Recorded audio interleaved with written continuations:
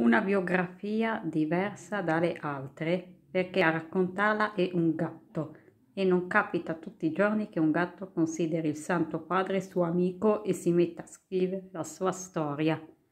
Io vivo ormai da diversi anni accanto al Papa Benedetto XVI. Il mio nome è Don George, proprio come il fratello maggiore del Santo Padre.